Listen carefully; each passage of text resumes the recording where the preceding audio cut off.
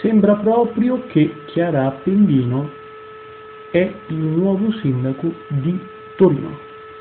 Prenderebbe dunque il posto al vecchio segretario di DS, Piero Fassino, che è stato per l'appunto in carica per quanto riguarda la gestione di questa città capoluogo del Piemonte, Torino, e sembra che la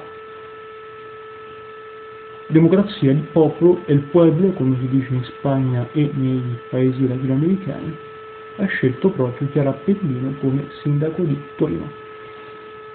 Chi è Chiara Appendino? È una ragazza, possiamo definire una ragazza, infatti ha solo 31 anni di età e siamo all'anno 2016, giovanissima, possiamo considerarla come una imprenditrice, una bocconiana, quindi che ha fatto, che ha frequentato l'università Bocconi di Milano, quindi dunque laureata al 100%, borghese, ma anche una donna molto intelligente, che ha a cuore i problemi della gente, che ha a cuore le sorti di una città grande, spettacolare, piacevole e ricca di arte come Torino, una città che ha molto da offrire ai torinesi e a tutta la regione Piemonte. Dunque la Chiara Appendino prende dunque il posto di fatto a Piero Fassino, ex sindaco di Torino, e adesso vediamo come succederà, come andranno a finire le cose a Torino, questa città così bella e importante del,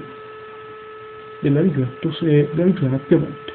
Bene, complimenti a Chiara Appendino, a lei faccio tutta quanta la, la rivolgo tutta la mia stima e il mio affetto e le auguro di lavorare in modo proficuo per la città di Torino.